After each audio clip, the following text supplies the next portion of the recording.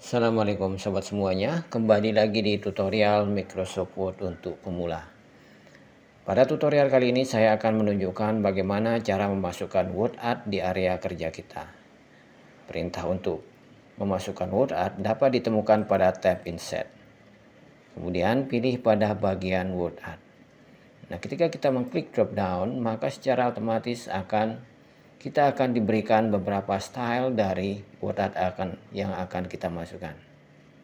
Kita bisa pilih salah satu, misalnya di sini saya menggunakan yang ini. Dan di dalam text box ini kita bisa menulis teks yang kita inginkan.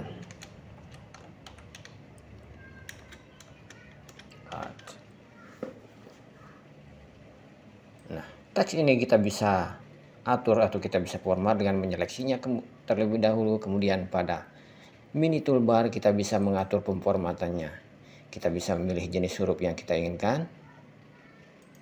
Ukurannya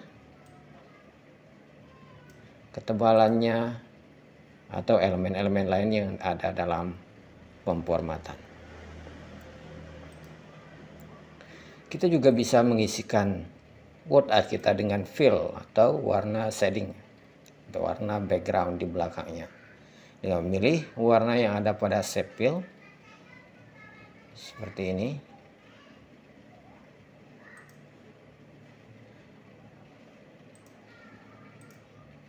Atau kita juga bisa memasukkan variasi lain sebagai background dari word art kita. Misalnya kita bisa memasukkan background gambar di dalamnya dengan mengklik pada pilihan picture kita bisa cari online dengan menggunakan tombol yang ini.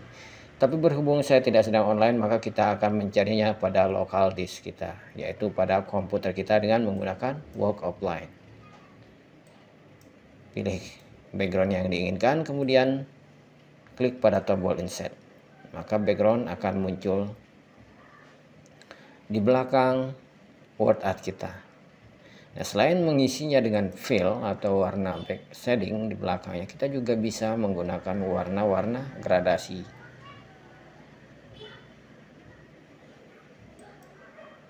Kita kembalikan terlebih dahulu ke awal supaya pemformatan yang kita lakukan bisa terlihat perbedaannya. Di sini saya menggunakan warna gradasi sebagai background atau kita juga bisa menggunakan tekstur sebagai background dari word art kita.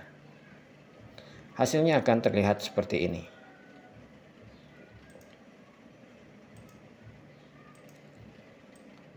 Kita juga bisa menggunakan style atau pilihan yang lain jika kita tidak puas dengan tampilan yang kita lihat saat ini dengan memilih style yang ada di sini lagi. Nah, kita bisa atur arah arah dari orientasi teks yang ada dalam kotak word art kita dengan mengklik pada pilihan text direction, pilih horizontal atau rotasi 30 derajat, maka hasilnya akan seperti ini. Atau rotasi 270 derajat, maka hasilnya akan seperti ini. Kita juga bisa mengatur menemukan pilihan atau opsi lebih banyak mengenai arah. Teksnya mengklik pada text direction option. Bisa pilih dengan mengklik pada pilihan yang ada di sini. Oke kita kembalikan ke posisi semula. Klik OK.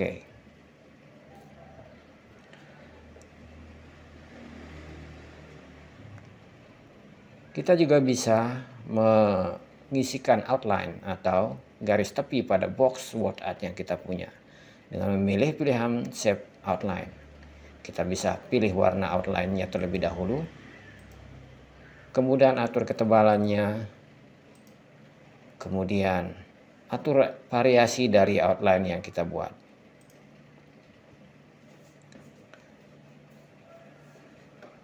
Nah, pada bagian step shape style kita juga bisa menggunakan style yang sudah disiapkan oleh Microsoft Word seperti ini. Oke, kita kembali lagi dengan menekan Ctrl Z untuk undo. Kita bisa menambahkan efek pada word art kita dengan menyeleksinya terlebih dahulu, kemudian pada bagian save effect, pilih efek yang kita inginkan. Di sini terdapat efek preset. efek shadow atau bayangan, efek pantulan, efek glow atau pendaran, efek bevel atau efek timbul, dan juga kita bisa menambahkan efek rotasi tiga dimensi.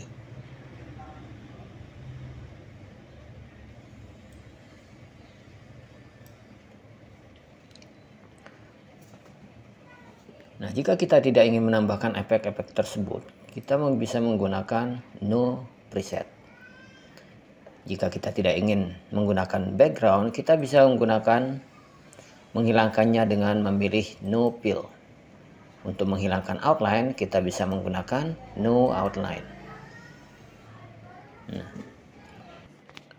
jika di area kerja kita banyak terdapat objek yang posisinya saling tumpang tindih, kita bisa mengatur susunan dari objek word art yang kita buat. Di sini bisa kita lihat bahwa word art yang kita buat berada pada level terbawah. Jika kita ingin membawanya satu level ke atas, kita bisa menggunakan perintah bring forward. Maka dia akan naik satu level ke atas. Jika kita ingin membawanya ke level paling atas, kita bisa menggunakan bring to front maka sekarang objek word art kita berada pada level teratas. Nah, begitu juga sebaliknya. Jika kita ingin membawanya satu level ke bawah, kita bisa menggunakan pilihan send backward. Maka dia akan turun satu level ke bawah. Nah, jika kita ingin membawanya ke level terbawah, kita bisa menggunakan pilihan send to back. Maka sekarang word art kita berada di level terbawah.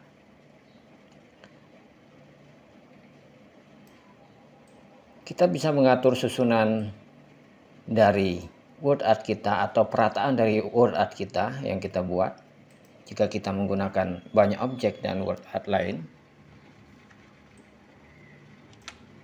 dengan menggunakan perintah align yang ada pada pada kelompok range. Pilih objek yang akan kita atur perataannya. Caranya seleksi terlebih dahulu semuanya dengan mengklik pada tab home kemudian select object seleksi dengan mendrag maka sekarang semua objek yang ada pada area kerja kita terseleksi. Pilih pada line line left untuk meratakan semuanya ke kiri line center untuk ke tengah line right untuk meratakannya menjadi rata kanan.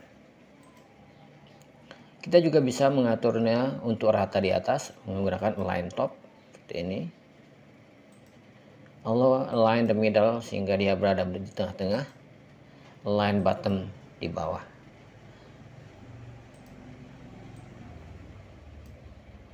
Klik di luar untuk atau escape untuk keluar dari seleksi. Nah jika kita ingin merotasi word art kita kita bisa menggunakan pilihan rotate. Sini terdapat pilihan rotate 90 derajat rotate left atau rotasi putar ke kiri 90 derajat. Kita juga bisa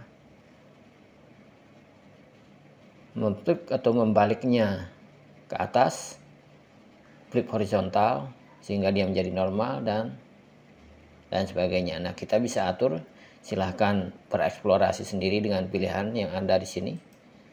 Oke. Untuk mengatur ukuran dari art kita kita bisa menarik garis. Tapi ini hanya untuk menarik boxnya aja untuk mengatur lebar atau box tinggi atau ukuran dari boxnya saja. Nah, untuk mengatur isinya kita harus menggunakan pilihan size yang ada pada pemformatan yang muncul pada mini toolbar seperti ini jika word art yang kita buat berada di antara teks, kita bisa mengatur posisinya untuk mendapatkan tampilan terbaik. Di sini saya akan menunjukkan caranya. Klik kanan dulu atau kita copy dulu word art yang telah kita buat, kemudian pindah ke dokumen yang sudah terisi teks. Kita pastekan di sini dengan cara klik kanan, kemudian pilih paste picture. Nah, di sini kita bisa sesuaikan pengaturannya untuk mendapatkan tampilan terbaik dengan mengklik pada tombol layout option. Kita bisa pilih pengaturan jika kita ingin dia berada di bawah teks dan memilih behind text in front of text dengan jika kita ingin membawanya ke atas teks atau di atas teks atau kita bisa memilih pilihan-pilihan yang ada di atas di sini bagian square hasilnya akan terlihat seperti ini bagian tight hasilnya akan seperti ini dan bagian stroke hasilnya seperti ini nah di sini saya akan menggunakan pilihan tight nah jika kita geser maka secara otomatis teks akan menyesuaikan dengan word art yang kita buat. Kita juga bisa mengatur posisi dari word art yang kita buat yang berada di antara teks ini dengan menggunakan pilihan position yang ada pada tab format. Pilih position, kita bisa atur dengan memilih salah satu dari opsi yang ada di sini. Di sini jika kita ingin membawanya ke kiri, ke tengah atau ke kanan.